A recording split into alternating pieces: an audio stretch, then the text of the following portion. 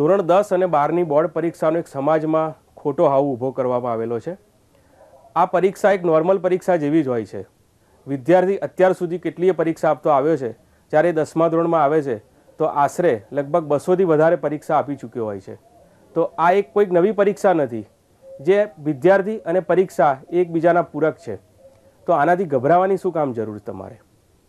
વિદ્યાર્થી જ્યારે પહેલા દિવસે પરીક્ષા આપવા જાય છે, ત્યારે તેની સાથે તેના માતા, પિતા, ઘરના વડીલો ત્રણ ચાર જણા એને મૂકવા જતા હોય છે. અને જ્યારે છૂટવાનો ટાઈમ હોય, ત્યારે એના મધર એના માટે નાસ્તાની વ્યવસ્થા, શરબતોની વ્યવસ્થા લઈને જતા હોય છે. અને બીજા દિવસે આ બધું નોર્મલ થઈ જતું હોય છે. વિદ્યાર્થીનો પચાસ ટકા ડર દૂર થઈ જતો હોય છે. તો આ જ ડર આપણે પહેલેથી કેમ ના કાઢી શકીએ? એટલે વિદ્યાર્થીએ પરીક્ષાથી કોઈ જ ગભરાવાની જરૂર નથી. બીજું વિદ્યાર્થીઓને એવું હોય છે કે પેપર અઘરું નીકળશે તો? મને યાદ નહીં રહેતો. તો પેપર શું કામ અઘરું નીકળે? પેપર સેટરને જ્યારે બોર્ડ તરફથી પેપર કાઢવાની સૂચના આપવામાં આવે છે, તો એમાં પહેલું જ વાક્ય હોય છે કે બ્લુપ્રિન્ટ આધારિત પેપર કાઢવું. તો બ્લુપ્રિન્ટ આધારિત જ પેપર નીકળશે અને બ્લુપ્રિન્ટમાં સરળ, મધ્યમ અને કઠિનતાનું ધોરણ નક્કી કરવામાં આવ્યું છે. કઠિનતાના દસથી પંદર ટકા વેઇટેજ હોય છે. તો પંદર ટકા પ્રશ્નો તમારે અઘરા પૂછાશે. બાકીના પંચ્યાસી ટકા તમારે સરળ અને મધ્યમ રહેશે. તો હવે આ પંદર ટકાના પ્રશ્નો બી તમે આખું વર્ષ ભણતા આવ્યા છો, તો હિંમતથી સોલ્વ કરશો, વિચારશો, તો એ બી તમે સોલ્વ કરી શકશો.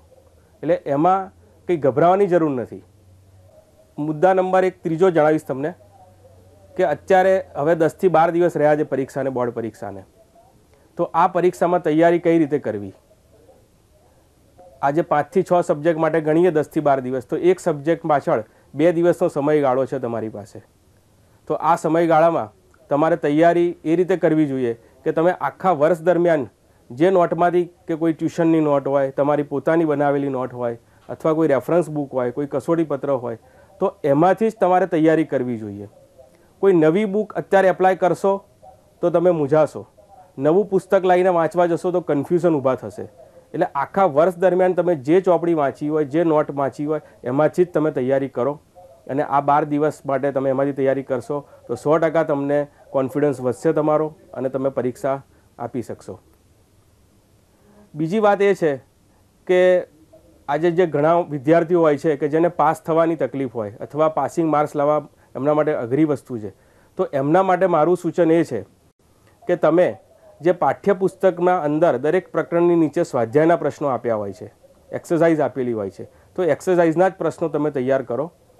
એ પ્રશ્નો એકવાર વાંચો, તમારી નોટમાંથી વાંચો અને એ રીતે તૈયાર કરશો તો તમારો કોન્ફિડન્સ વધશે. ભૂતકાળના પેપરો જોશો તો સ્વાધ્યાય આધારિત મોટાભાગના પ્રશ્નો પૂછાતા જ આવ્યા છે. તો હવેના પરીક્ષામાં બી સ્વાધ્યાય આધારિત પ્રશ્નો હશે જ. એટલે તમે સ્વાધ્યાય તૈયાર કરો અને એ તમને સો ટકા મદદરૂપ બનશે. બીજી વાત મારે વાલીઓને ખાસ કહેવાની છે કે વાલીઓ ઘણીવાર છે ને બોર્ડ પરીક્ષાને લીધે એટલા ટેન્શનમાં હોય છે કે જે છોકરાને વારંવાર પૂછે કે તે વાંચ્યું, તે લખ્યું, તને નથી આવડતું હોય તો મને કહે તો હું આપણા ટીચરને વાત કરું. આવા પ્રશ્નો હવેના દિવસો, હવેના બાકીના દિવસોમાં પૂછીને એને ટેન્શન કરાવે નહીં. એને મુક્ત રહેવા દે, એને રિલેક્સ રહેવા દો. આખું વર્ષ મહેનત કરી છે તો હવેના બાર દિવસમાં બી એને જો આવા પ્રશ્નો પૂછીને ગૂંચવશો, તો એ વધારે મૂંઝવણ અનુભવશે. એટલે એના એના માટે તમે એને પ્રોત્સાહિત કરો. બાળકની આપણે આવડતને બહાર લાવવાની છે, એનો કોન્ફિડન્સ ડેવલપ કરવાનો છે.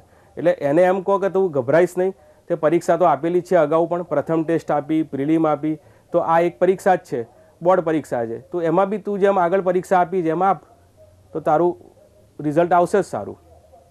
બીજું વાલીઓએ હવેના દિવસોમાં એનું ખાસ એ ધ્યાન રાખવાનું કે એ પૂરતી ઊંઘ લે છે, એના ખોરાકનું પણ ધ્યાન રાખવાનું એને બહારના જંક ફૂડ કે ફાસ્ટ ફૂડ કે એવું ખવડાવવું ના જોઈએ અને એને રિલેક્સ રહેવા દેવો જોઈએ. બીજી એક વાત છે ખાસ કે આપણા સમાજ માટે કહેવી છે મારે કે છેલ્લા બે ચાર વર્ષથી હું જોતો આવ્યો છું કે આપણા સમાજમાં એક નવો ટ્રેન્ડ ચાલુ થયો છે બેસ્ટ ઓફ લક કહેવાનો. જ્યારે વિદ્યાર્થીને એક વીક બાકી હોય પરીક્ષાનું, ત્યારે આપણા સગા સંબંધીઓ એટલે મામા, માસી, ફોઈ, ફુવા, મિત્ર સર્કલ હોય, આજુબાજુના અડોશ પડોશના હોય બધા બેસ્ટ ઓફ લક કહેવા આવે. એટલે આ બેસ્ટ ઓફ લક કહેવા આવે અને પાછી વણ માગી સલાહ આપે બધા. એટલે એનાથી વિદ્યાર્થીનો સમય કિંમતી બગડે છે. વિદ્યાર્થીને છેલ્લા વીકમાં આખું એક નજર નાખવાની હોય છે એની નોટ ઉપર કે એના પુસ્તક ઉપર. અને એમાં આ બધું બેસ્ટ ઓફ લક કહેવાનું ચાલે તો વિદ્યાર્થીનો ખોટો સમય બરબાદ થાય છે. એટલે આપણે આવું ન કરવું જોઈએ અને વિદ્યાર્થીઓને ખરેખર જો વિશ કરવું હોય તો અત્યાર તો લેટેસ્ટ મોબાઈલનો જમાનો છે વોટ્સઅપનો જમાનો છે તો એના ફાધર કે મધરના નંબર ઉપર એક મેસેજ કરીને એને વિશ કરવું જોઈએ. એટલે આ એક પ્રથા બંધ કરવી જોઈએ મારી દ્રષ્ટિએ. બીજું કે વિદ્યાર્થીઓ જે અત્યારે કઠિનતા મૂલ્યના આધારિત જે પ્રશ્નો પૂછાતા હોય છે, તો એમાં દસથી પંદર ટકાનું જે ભારણ છે કઠિનતા મૂલ્યનું, તો પંદર ટકા પ્રશ્નો અઘરા હશે એવું આપણે માની લઈએ. પણ એ પ્રશ્ન કોઈ બહારના નહીં હોય. આપણા પાઠ્યપુસ્તકમાંથી જ હશે અથવા તો એને ટ્વિસ્ટ કરીને પૂછ્યા હશે અથવા એ અભ્યાસક્રમ આધારિત હશે.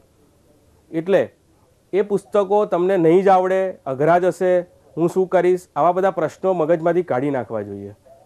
અને એ પ્રશ્નો સોલ્વ કરવા એક તૈયારી રાખવી જોઈએ માનસિક. તમે પ્રશ્ન વાંચો, કદાચ ના આવડતો હોય, અઘરો લાગતો હોય, તો એને બે વાર, ત્રણ વાર વાંચો. અને વાંચ્યા પછી પ્રશ્નને તમે રફ કાર્યમાં પાછળ સપ્લિમેન્ટરીની પાછળ આપણે રફ કાર્યનું પેજ આપવામાં આવે છે. એ રફ કાર્યમાં એ પ્રશ્ન ઉપર તમે જે સમજ્યા હોય, ભલે કદાચ સમજ ના પડી હોય, પણ જે કંઈ સમજ્યા હોય, એ સમજના આધારે એના ઉપરની આકૃતિ દોરો અથવા એના મુદ્દા લખો અને એ વિચારો પછી તમે. તો સો ટકા એ પ્રશ્ન ધીરે ધીરે ધીરે તમે સોલ્વ કરી શકશો. એટલે કોઈ કઠિનતા મૂલ્યના લીધે કે કોઈ અઘરા પ્રશ્નના લીધે તમારે ગભરાવાની કોઈ જરૂર નથી. એટલે ટેન્શન મુક્ત રહીને તમે પેપર આપો ફ્રીલી રહો અને આપણા સમાજમાં જે ખોટો હાવ ઊભો કરવામાં આવ્યો છે, એ દૂર કરો. Thank you